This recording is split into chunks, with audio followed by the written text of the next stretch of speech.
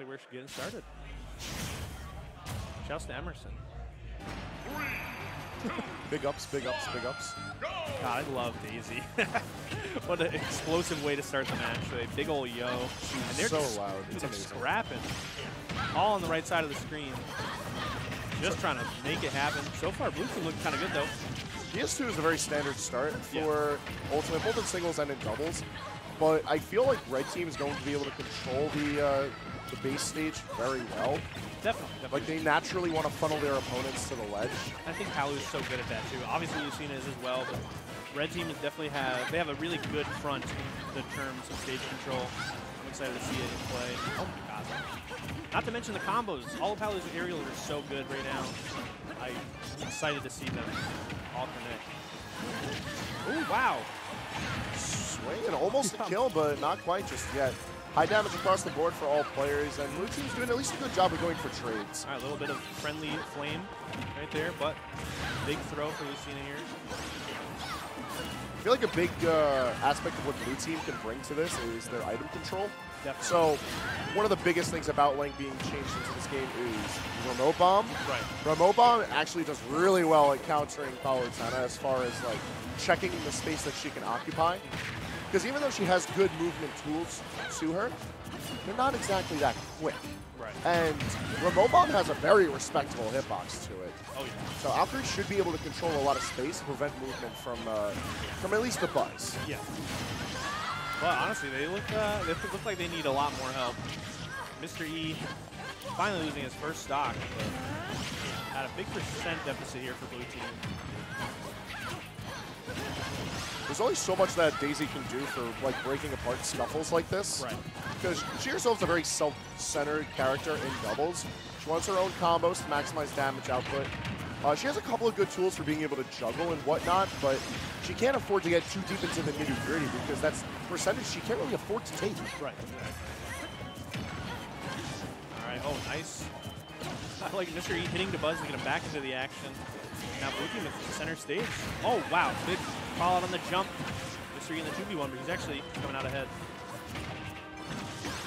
And despite Red Team doing most of the swinging, this is looking like a far more doable matchup. Definitely. think. Like, Wow, great. Oh my god, dude. The presence of Monty Buzz, they get the follow up with the F tilt, and now they are looking firmly in control. Wow. you really just let it run. Yeah, It's like, up smash time? he did that, dude. That. Oh, all right. Nice remote bomb to get back in the center stage, but he's looking at disadvantage right now. Yeah, Here's Spound on the ground, still not that great. Let's not get twisted. They gave Link some really nice tools, not all of them. what I was going to be asking too much. There goes that stock. Looks like Zyvon is going to go down to his last? Okay. three to one. Yeah, that is. I'm actually quite surprised. I would have expected uh, their teams to let Aelkrie rock the 2v1 just because Link has better tools for at least staving off that pressure. Right, right. I do think Zyvon is definitely more calm under pressure, in my experience. Always very collected. He's going to need a lot of collection and a lot of nerves. That, oh He's gonna have to sit around a basket for all that pressure. Honestly, like, look at this. He can't. He can't really do anything on the ledge because he's getting down tilted. Yep. He was big chilling with his side B. And honestly, Explosive Flame has such a little cooldown that, like, if he did roll on, it wouldn't have been good, much better for him anyway. Oh, no. There it is. What a wild hitbox. But that's going to be it. Going to get the photo finish. Three stocks to zero in Red Team's favor. You'll never defeat me. Now, we know that there are other characters in the arsenal for uh, for Zyvon. Right. The question is, are we going to see them? Because the Daisy was doing a decent job, at least like once the scuffles broke off to 1v1 situations. Right. And that's where Daisy is, of course, you know, stronger. But I feel like if he was more willing to just put out hitboxes, uh, you might be able to cover for Aelkrie a bit better.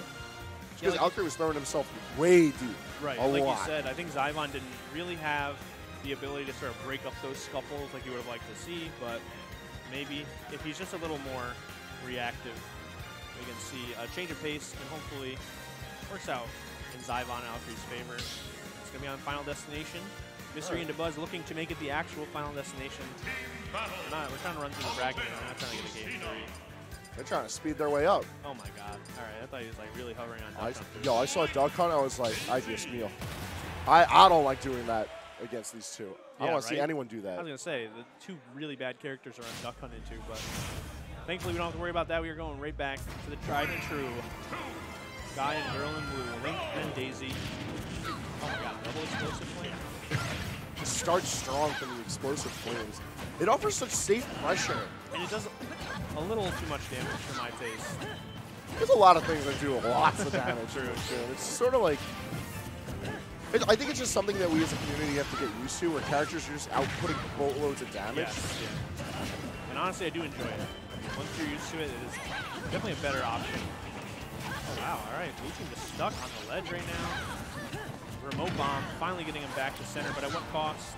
Valkyrie's been doing really well to recover the stage with the remote bomb, but Oh, like the damage that he has to trade for that, it's very much in the same line of thought as Snake, Right. where like you just got to take the hits to survive. But unlike Snake, it's not that heavy. Yes. And That, he's much more open from when he's C4ing himself or using nades to stop them. and the trades are a lot worse when you don't have the lead, which has never really been the case for Blue team. Oh, no. Oh, this, this is looking like a rough scene right off the bat, but good awareness from Valkyrie. Stop the uh, shield break from leading him to anything disastrous for Zyvon. Really good use of the invincibility there. Sort of clear the air, get back to neutral. Unfortunately, I feel like, so we see them running with a lot of momentum right Yeah. now. Like a lot, a lot. Oh, yep. Um, those counters from E have been so good. The remote bomb is not going to do it, and that's already three stocks. Are we going to see the six stock thing, man? What a way to start the block. For Zyvon's case, I, I'm hoping not, but Oh, big up smash. Caught him jumping, but still not enough. like he is just so strong controlling the stage with Lucina, like always, because you could just shark forever. Yeah, and his teammates Dabuz. So it's not like you have anywhere to go, really. We saw before Dabuz covering the ledge with Explosive Flame and E covering the stage with his body. Almost unpenetrable fortress. Yo, big ups to Zyvon just not outright giving up though. Yes. Because like you look at these two on a six to one lead on you, and like, Ooh,